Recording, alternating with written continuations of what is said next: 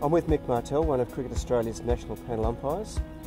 Mick, can you just tell us about your background that got you into umpiring? Yeah, well, I uh, really love the game, obviously. I think it's the greatest game in the world. Wanted to keep involved.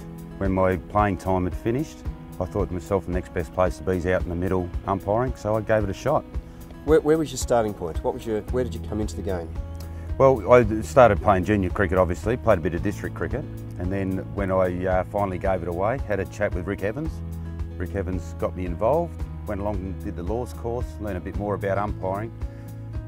Thoroughly enjoyed it, so I thought I'd give it a um, go and see where I could get with it. Highlights so far? Where's it taken you to? Well, highlights, I mean, doing my very first first grade game in the WACA was fantastic. Um, I didn't think I'd even get to that level, never alone beyond.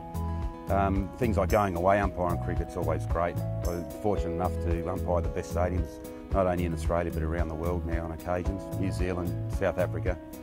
Uh, but my favourite's still the WACA. Love the WACA, and it's uh, fortunately enough we cut our teeth at the WACA, and you know we get to umpire here before we even make national level. So it's a fantastic um, atmosphere, fantastic opportunity to be part of the WACA. What would you say to new umpires coming in? What, what advice could you give them? Look, I think it's just about being enthusiastic, being patient, because the rewards will come. It's just about being patient. If you can show the enthusiasm, not only to the uh, organisation but to yourself, make sure that you uh, have a good go at it, and make sure that you're always going to be ready for that first opportunity when it comes your way. Mine came early to do a first grade game early, but I was ready for it, and I was uh, took the bull by the horn, so to speak. Friends you've met, people you've come across during the game? Oh, some of the best friends in the world have been through cricket. Um, doing the umpiring's extended them, you know, to globally now. You know, I catch up with people all the time when I'm overseas.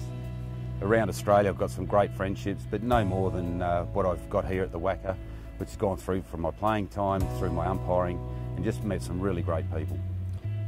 Mick, you mentioned about the uh, Big Bash final. Can you tell us some of the highlights from that game? Well, the actual whole day was a huge highlight. Um, it's not every day you get umpire in front of you know, 20 odd thousand people crammed into the WACA. Uh, fantastic atmosphere. Perth people really got behind the Scorchers this year and it was just amazing to be out there. Loved every minute of it. Um, it uh, I've umpired at some you know, fairly full stadiums around Australia, but that night here at the WACA, when capacity house, fantastic atmosphere. There's the opportunity then for umpires who start out, new umpires this year, to eventually end up umpiring Big Bash.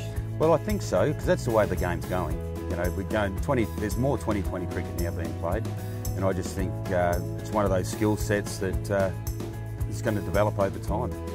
We'd love to see any new umpires come on board at the WACA. Love to see new umpires come on board at the WACA. How can a new umpire get themselves involved? Well, I think to get yourself involved, you just have to really have a dedication to the sport. Be part of it. Listen to what people tell you. Take the feedback on board and really try to improve as you progress.